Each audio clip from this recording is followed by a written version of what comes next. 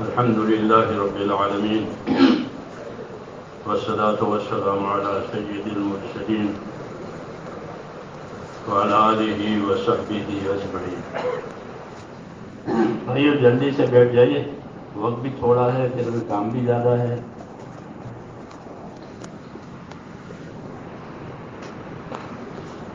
हज़रत उमर रज़ी अल्लाह तु साजिद बिन वक्कास रज़ी अल्लाह तु से ये फरमा रहे थे, जब वो जमात लेकर जा रहे थे, उनके साथ एक मजमा था, बड़ा मजमा लेकर जा रहे थे। फरमाया उनसे, और भी बहुत से बात कही, बातें कही, एक बात उनसे ये कही कि देखो ये तुम्हारे साथ जा रहे हैं। इनको खैर के कामों का आदि बनाना। समझ आई बात? तो जो अल्लाह के रास्ते में जा रहे उनके लिए ये सबक है। क्या सबक है? समझ में नहीं आई बात? मौलाना अब्दुलरहमान सर लगा नहीं कि वक्त भी पूरा करना है, अमल भी पूरा करना है। यही मतलब है तो फरमाया, जो शादी तुम्हारे साथ जा रहे हैं, उनको खैर के कामों का आदि बनाना। ये लोग अमल इतनी पाबंदी से करें, इतनी पाबंदी से करें कि वो इसके आदि हो जाए। ये दावत है। कभी कभी करे तो वो आदि होता है। तो कभी पान खा ले तो वो पान का आदि नहीं होता। तो रोज पान खावे, वो पान का आदि हो जाता फिर वो सफ़र में, हजर में, हज में, हजर पान ले जावे सारा क्यों? भगवान के आदत है। वो चीज़ उनके साथ जाती है। तो ये दावत भी है अल्लाह के रास्ते में जाने वालों से, खास तौर से, कि वो अपने आप को हर अमल का जो अच्छा है उसका आदि बना।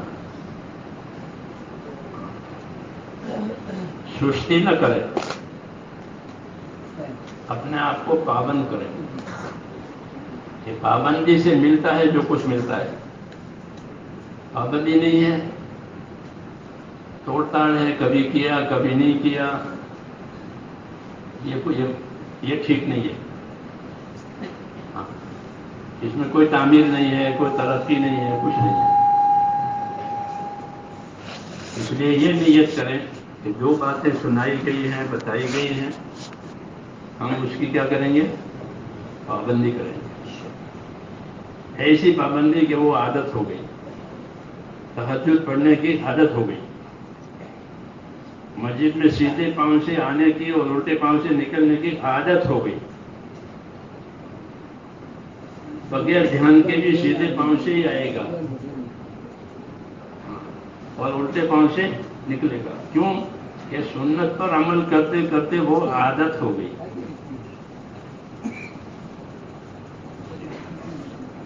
उलमा ने लिखा है कि दीन पहले आदत में आता है, फिर इबादत में पलटता है। दीन पहले आदत में जैसे में छोटे बच्चे से नमाज़ पढ़ाओ।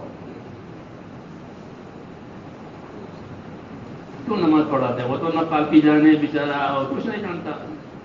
लेकिन उसे नमाज़ पढ़ाओ। क्यों ये नमाज़ का आदि हो जाएगा। फिर जमान होने के बाद उसको नमाज़ मुश्किल नहीं पड़ेगी। वो पहले से आदत नहीं दे अब जमाने में नमाज़ मुश्किल। एक हमारे अरब दोस्त तो मुझे कहते लड़का अठारह साल मक्के में, अठारह साल का है, नमाज़ नहीं पढ़ता। मक्के में मक्के की नमाज़ मक्के की नमाज़ एक नमाज़ एक लाख नमाजों के बराबर होती है सवाब में नहीं पढ़ता उसकी वजह यही है कि इब्तदा से शुरू से उसकी आदत ही नहीं हुई अब बेकाबू हो गया जमाने में कौन अमल करता है जमाने में तो मौत शौक इसलिए ये हिदायत दी है जमात में जाने वालों को, अल्लाह के रास्ते में निकलने वालों को, कि वो अपने आप को क्या करें? खैर के कामों का आदि बना। ये फना बात सुनी थी हज़रत अली फरमाते थे कि मैंने रसूलुल्लाह सल्लल्लाहु अलैहि वसल्लम से ये तस्बीहात की बात सुनी। तैतीस मरतबा सुबहान अल्लाह तैतीस मरतबा अलहमदिल्ला और बोलो, चौंतीस मरतबा जब से मैंने ये बात सुनी है, कभी भी ये तस्वीर मेरी फौत नहीं हुई। तो किसी ने सवाल कर दिया कि कभी नहीं हुई कि ना, क्या फला मौके पर मैदान जंग में थे? वो जंग हो रही थी दुश्मन से आपकी, जोरदार। उसमें क्या किया? फरमाया, उन रातों में भी मैंने ये तस्वीर पूरी की है। जबकि दुश्मन से मुकाबला हो रहा है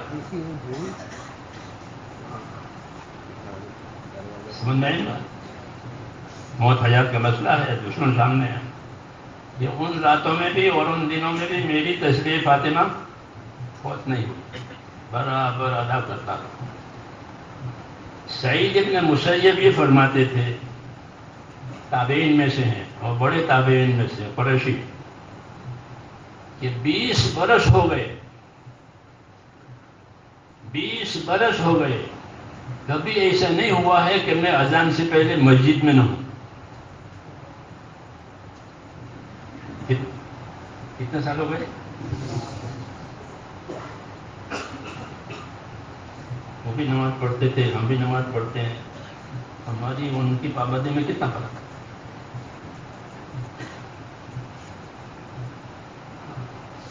बीस बरस हो गए। कभी ऐसा नहीं हुआ कि अजान से पहले मैं मस्जिद में न साल के साथ। ये नहीं कि वो खाते नहीं थे, पीते नहीं थे, कमाते नहीं थे, ऐसा ना। ये सब कुछ करते थे।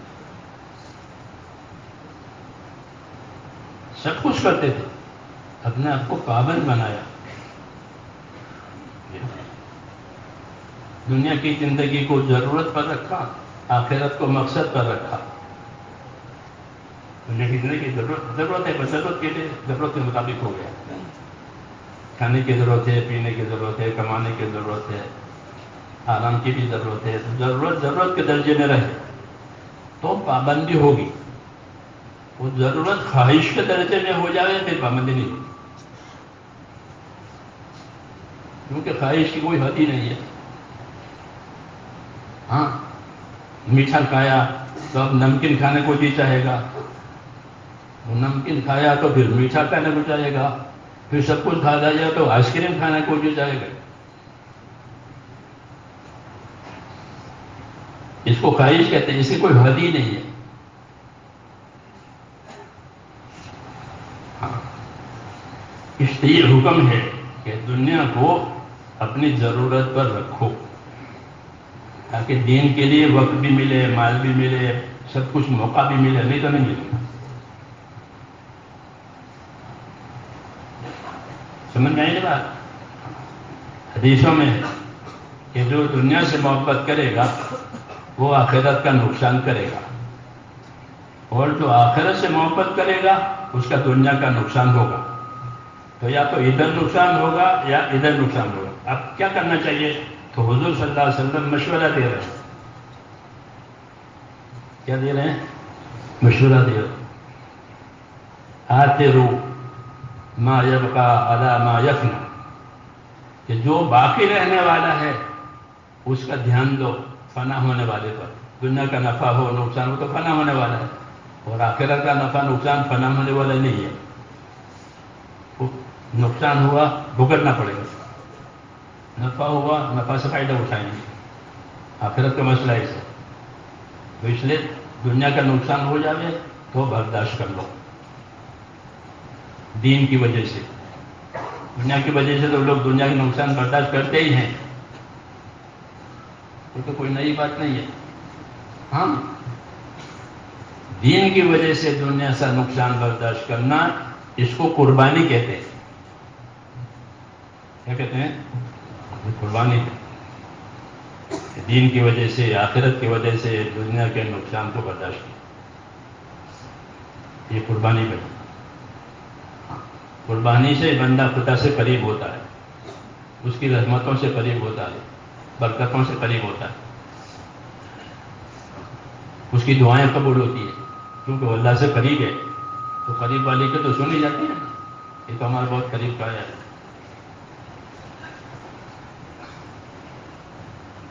इसलिए ये बड़ी चीज़ है कि अपने आप को पाबंद करें।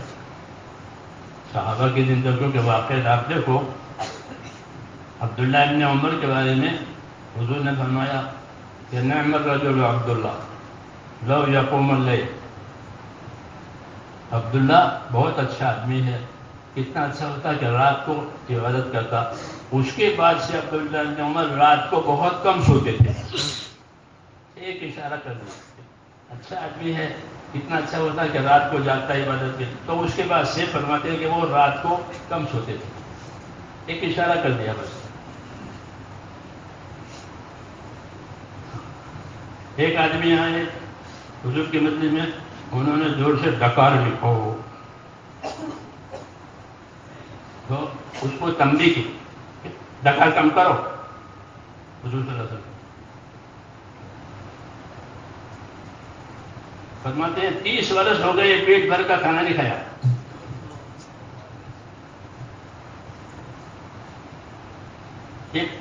इतने पर कि अपनी डकार कम करो। तीस साल हो गए जिस मैंने पेट भर का खाना नहीं खाया। ये पाबंदी की मिसाल दे रहा हूँ। हाँ ये नहीं कहता कि मत खाना, कम खाना, कुछ लेकिन दखा कम करो।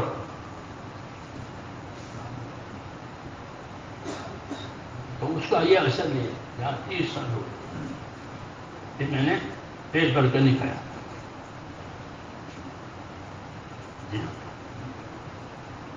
ऐसे किस्से हैं। एक एक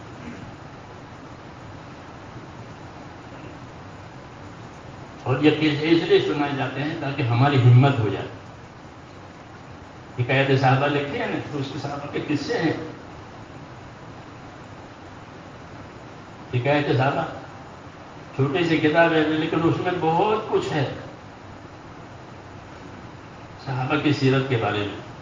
वो सहाबा की सीरत से रहबरी की है बारह बाब है उसकी।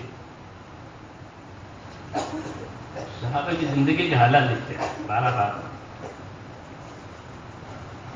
उसके पढ़ने से आपको अंदाज़ा होगा इन हजरात ने काम को और जो जो उनको हिदायतें दी गई, उसको अपने ऊपर कैसे लिया? सीखने सिखाने को, इबादत करने को, एक एक चीज़ को, अल्लाह के रास्ते में जाने को जिनकी मेहनत करने को, एक एक चीज़ को दिया उसकी वजह से दुनिया का नुकसान हुआ तो उसको बर्दाश्त किया। फरमाते थे इतने अमर रज़ी कि मदीने जाने के बाद, जब तक खैबर फतेह नहीं हुआ, हमने पेट भरकर खाना नहीं खाया। मिलता ही नहीं था खाना पेट भरकर। खैबर फतेह हुआ सन हिजरी सात में तो कोई अच्छे बरस ऐसे हो गए। कि पेट भर कर खाना मिलता नहीं है। तंगी है। इन तंगियों में ये का, ये काम किया है। पाबंदी के साथ। तो ये असल चीज़ है मेरे दोस्तों। हम अपने आप को क्या करें? पाबंद करें। उसूलों का पाबंद जो तबलीग के ये उसूल तबलीग कोई वक्त गुजारने का नाम नहीं है फकत। वो एक उसूली अमल है। इसलिए उसको बार बार सुनना है ताकि वो उसूल ध्यान में फिर अपने आप को उसूलों को पाबंद करे। ये काम उसूलों से। उसके उसूल को जानना, उसको सीखना, उसकी पाबंदी करना, फिर दूसरों को वो सिखाना। मुजाकरा करना उसका। ताकि काम उसूलों से, जो काम उसूलों से होगा वो काम महफूज रहेगा। और अमल करने वालों की तरबियत होगी। उसूल की पाबंदी की वजह से उनकी तरबियत होगी। कि उनकी ज़िंदगी की कमजोरियाँ, बुराइयाँ निकल जाएगी। और उनकी ज़िंदगी की खूबियाँ उसूल की पाबंदी की वजह से बढ़ जाएगी। समझ में आई बात? कि उसूलों की पाबंदी के बगैर तरबियत नहीं होती। अपने आप को उसूलों का पाबंद करो। उसूलों को मालूम करें। सीख कर समझ कर जानकर काम करना है, वरना तो रिवाज हो जाएगा। एक चिल्ले देते हैं चाहे मैं रिवाजी बात नहीं। बल्कि एक हकीकत है समझ में आएगा और इखलास भी पाबंदी की वजह से मिलेगा। अल्लाह के लिए करना, आखिरत के लिए करना, इस, ये इखलास दो वजह से मिलता है। एक तो किसी अल्लाह वालों की सोहबत मिल जाए, वो उनकी सोहबत से इखलास मिलता है, जैसे फूल से खुशबू मिलती है, चाहे ना चाहे। तो इखलास सोहबत से मिलता है। और एक इखलास मिलता है, किसी अमल में अपने आप को लगाए रहने से। कि इसको हर हाल में करना ही करना है, करना ही करना है। हज़रत जी फरमाते थे कि लगे रहो, इखलास भी आता रहेगा। पहले दिन इखलास होता नहीं है। अल्लाह और आखिरत के लिए करना ये पहले दिन नहीं होता। वो तो करते करते फिर ध्यान जमता है कि ये काम अल्लाह के लिए करना है, अपने आखिरत के लिए करना है। वरना तो अल्लाह और आखिरत से आमतौर पर दिल गाफिल होते। समझ में आई ना बात। लेकिन फरमाते थे कि लगे रहो। फिर क्या होगा? इखलास भी आता रहेगा। अल्लाह के लिए करना, आखिरत के लिए करना, वही असल है, वही कमाई है। तो वो भी लगे रहने से होगा। जैसे ये एक फल होता है ना, आम का फल, पहले छोटा होता है। मगर वो लटकता रहा, दरख्त से, टूटा नहीं तो फिर बड़ा भी होगा। फिर उसका रंग बदलेगा, फिर उसका मज़ा बदलेगा, फिर उसमें खुशबू आएगी। क्यों? कि वो लगा रहा है। दरख्त से तो भी तरक्की हो रही है। यहाँ तक कि फिर वो बाजारों में आता है इशारों में दिया जाता है। बड़े बड़े लोगों को तोहफे भेजे जाते हैं कि भाई, ये जो क्वालिटी है, ये क्वालिटी है। ऐसे आदमी लगा रहेगा।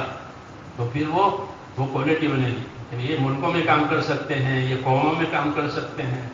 नहीं तो देहातों में काम करने वाले रहेंगे। वो भी है काम। लेकिन जैसे कोई चीज़ हो गई, ये चीज़ बाहर जाएगी। ये माल बाहर जाएगा। आप जानते हैं, बाहर जाने वाला जो माल होता है, वो क्वालिटी ऊँची होती है। तो मेरे भाइयों, हमको तो दुनिया में काम करना है।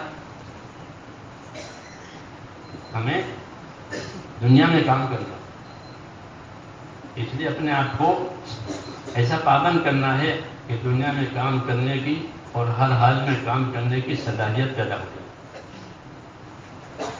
वो लगे रहने से हो, छोड़ने से नहीं होगा। कभी हुआ, कभी नहीं हुआ, ये टूट फूट है। नहीं, लगातार बरसा, बरस गुजर जाए अल्लाह से मांगे और बुज़ुर्गों ने लिखा है कि ऊपर की नीयत करे तो नीचे का काम हाथ में आवे। कि उसूल है तो ऊपर की नीयत करो। तो नीचे वाला हाथ में बैठो मिसाल के तौर पर एक आदमी यूँ कहे कि मुझे तो जमात से नमाज़ पढ़नी है, चाहे कुछ हो जाए। तो ऐसा होगा कि उसकी जमात कभी छूट जाए फौत हो जाए आदमी है। लेकिन उसकी नमाज़ तो कजा होगी ही नहीं। क्यों? कि उसकी नज़र जमात पर है। जमात तो कभी छूट जाए, इंसान है, लेकिन उसकी नमाज़ कभी कदर नहीं। और जो ये सोचे कि मुझे तकबीर उला के साथ नमाज़ पढ़नी है तो कभी तकबीर उला फौत होगी, लेकिन जमात फौत नहीं होगी। और जो आदमी ये सोचे कि मुझे इंतज़ार सलाद से नमाज़ पढ़नी है, नमाज़ के इंतज़ार, इमाम आए नहीं है, वक्त हुआ नहीं है, इंतज़ार में बैठे हैं। मुझे इंतज़ार से नमाज़ पढ़नी है। तो कभी इंतज़ार हाथ में से निकल जाएगा, लेकिन तकबीर ओला बात नहीं होगी।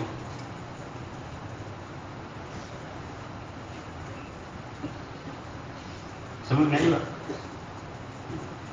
इसी को अजायम कहते हैं। आपसे अजायम करना क्या में ये अजायम है। नमाज़ इंतज़ार से पढ़नी है। वक्त से पहले पहुँच जाएँगे। बैठ के इंतज़ार करेंगे नमाज़ का। अल्लाह ताला इंतज़ार पर भी नमाज़ का सवाब देंगे वरना दुनिया में इंतज़ार पर मिलता है वेटिंग रूम में बैठो वेटिंग रूम में ही हूँ तो वेट क्या वेट यहाँ नहीं है ऐसा। यहाँ इंतज़ार पर भी देंगे। तो ये तरतीब है आगे बढ़ने की। समझ में आई ना? ऊपर ऊपर नज़र की। इसलिए हज़रत उमर ये कहते थे कि मैं अबू बकर जैसा अमल करूँ। और अबू बकर मैं तो हुजूर जैसा अमल करूँ। ये। पढ़ते हैं यही तरीका है। वरना तो सुस्त है, पीछे रह जाएँगे। सुस्त हैं, पीछे रह जाएँगे, ज़िंदगी की जिम्मेदारियाँ पूरी नहीं होगी। सुस्त है। सुस्ती बला है। लोग बीमारी को बला समझते हैं सुस्ती को बला नहीं समझते। बीमारी को सब लोग बला समझते हैं। अल्लाह बला समझ है तो बीमारी बेशक बला है सुस्ती भी बला है। क्योंकि सुस्ती की वजह से आदमी बेकार हो जाता है, जैसे बीमारी से बेकार हो जाता है। सुस्ती से बेकार हो जाता है, किसी काम का नहीं रहता। जो याद था वो भी भूल गया। ये सुस्ती की वजह से। इसलिए हजूर सलाम सुस्ती से पना मांगते कि अल्लाह सुस्ती से बचाना ये सुस्ती किसे कहते हैं? सुस्ती किसे कहते हैं? सुस्ती इसको नहीं कहते कि आदमी पलंग पर पड़ा रहे क्यों नहीं सुस्ती उसे कहते हैं एक ज़िम्मेदारी है, उसके पूरा करने की ताकत भी है, फिर भी उसको पूरा न करें। एक ज़िम्मेदारी है, उसके पूरा करने की ताकत है, लेकिन नहीं करते। उसे कहते हैं, सुस्त पहले समय नमाज़ पढ़ सकते हैं ना, पढ़। हाँ? पढ़ सकते नहीं पढ़ सकते नहीं पढ़ ये सुस्ती है। इसी को सुस्ती कहते हैं। ये काम है, ज़िम्मेदारी का, उसको कर सकते हैं, नहीं करते। इसको सुस्ती कहते हैं। इसलिए अल्लाह के रास्ते में निकलकर अपने आप को खैर के कामों का आदि बनाए एक एक अमल जो वो छूटने ना पाए। क्योंकि हर अमल का अजर भी अलग है, उसका असर भी अलग है। सिखाने में नमक तो नमक का असर अलग है। मिर्चों का असर अलग है। पानी का असर अलग है। ऐसे हर अमल का असर ज़िंदगी पर अलग अलग होगा। जो अमल नहीं होगा, उसका असर नहीं होगा। जैसे नमक नहीं डाला है तो नमक का असर नहीं होगा। वो नमक, वो खाना बता देगा कि मेरे अंदर नमक नहीं है। उसने ज़िक्र छोड़ दिया तो ज़िक्र का असर ज़िंदगी में नहीं होगा। ज़िक्र का क्या असर है? कि ज़िक्र का असर गफलत दूर होना है। ऐसे जो अमल नहीं होगा, ज़िंदगी में उसका असर भी नहीं होगा। इसलिए कहते दोस्तों दावत और तबलीग, ये तो अमाल के मजमूए का नाम है, ये फरमाते सारे अमालों का नाम तबलीग है, खाली निकल जाने का नाम तबलीग नहीं। वरना ये भी रिवाज बनेगा। कि खाली निकल जाने का नाम तबलीग नहीं है।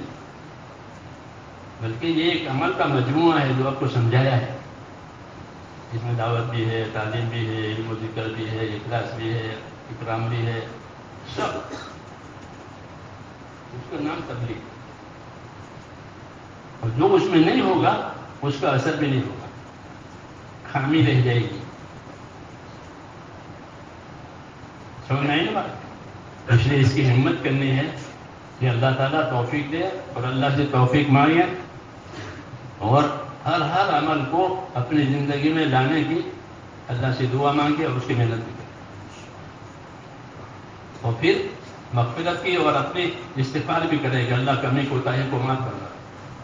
और जो हो गया है, अल्लाह उसे कबूल फरमा तो काम हो गया कि तो नहीं हुआ, भूल वो अल्लाह ने माफ़ कर दी, और जो हुआ, वो कबूल हो गया। क्या आदमी का बेड़ा पार हो गया?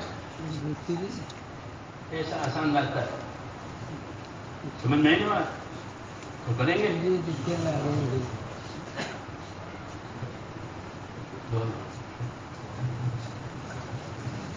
आजकल ऐसा हो गया कि टैप कर करके दुनिया में तो पहुंचाते हैं, और खुद की ज़िंदगी में नहीं होता।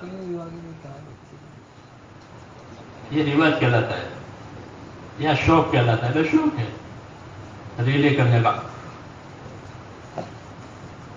इसे कोई फ़ायदा नहीं है। फैला देने से। पाबंद होने का फ़ायदा।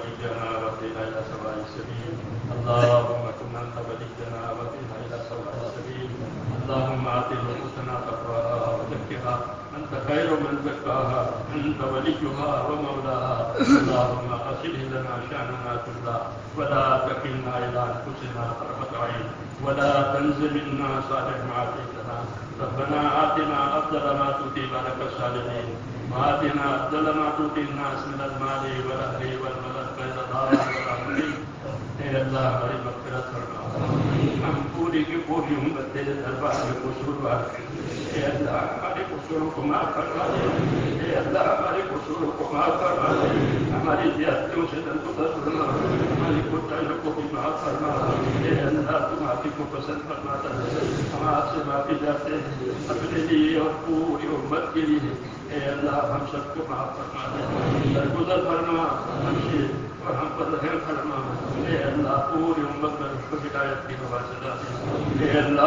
की सलाहियतों को दीन पर लगा दे ए अल्लाह की सलाहियतों को दीन पर लगा दे ए की सलाहियतों को दीन पर लगा दे उम्मत की सलाहियतों को बर्बाद अच्छी फ़सल है उम्मत के मालों की घरों की लाभों की दीन ईमान की जगह हिफाजत करना हर जगह हिफाजत करना हर पैर से उम्मत को माला माल करना हर शर से हर कितने वाला से पूरी उम्मत की पूरी पूरी हिफाजत करना जिस काम की जब ज़िम्मेदारी उम्मत पर डाली गई है मौला उसकी टॉपी करना वो हमारे लिए आसान करना अल्लाह हमें उस उस काम से मोहब्बत नसीब करना अल्लाह हमें ईमान की मोहब्बत नसीब करना मोहब्बत नसीब फरमा आखिरत की मोहब्बत नसीब हाँ, फरमा अल्लाह जिन चीज़ों की मोहब्बत तेरे यहाँ मजलूब है। चीज़ों की मोहब्बत अता फरमा। जो चीज़ें तेरे नापसंद हैं उसकी नफरत हमारे दिलों में डाल दें उससे हमको दूरी नसीब फरमा दें मौत तक इखलास और इस्तेकामत के साथ अपने दीन पर हमने से एक एक को जमने वाला बना दिया अल्लाह तक जमने वाला बना दे। हक पता करने की कोशिश करने वाला बना दे। या अल्लाह मरने का वक्त आवे। में से एक एक को कामिल ईमान पर खात्मा नसीब अल्लाह, कामिल ईमान पर खात्मा नसीब और और माबाद मौत में हमारे बरकत में पता मौत के बाद की हलाकतों से हिफाजत करना मौत के बाद आने वाली अवधि रहमतों से हमें ईशा के लिए माला माल करना हे। अल्लाह परेशान हालों की परेशानियाँ और की मदद करना को को शिकाता करना जो जिस तंग की परेशानी में है या अल्लाह उसकी तंगी को, उसकी परेशानियों को, उसकी दुश्वारियों को अपने कलम से दूर फरमा दे वो ये उम्मत को सेहत अता फरमा आफियत अता फरमा आफियत अता फरमा तारीफ़ की आफियत अता फरमा। एक एक उम्मती को बातौफीक बना किसी को महरूम न फरमा जिसने खैर रसूल सल्लल्लाहु अलैहि वसल्लम ने मांगी है वो हमें अता फरमा दे और जिन जिन शोरों से पना चाहिए है अल्लाह हमें भी उन तमाम शोरों से अपनी पना में ले ले और हर खैर से हमको माला माल करना बना तफर मिलना इनका हम तस्लीम अलीम वतफ़ अलैना इनका हम तव्वाब रहीम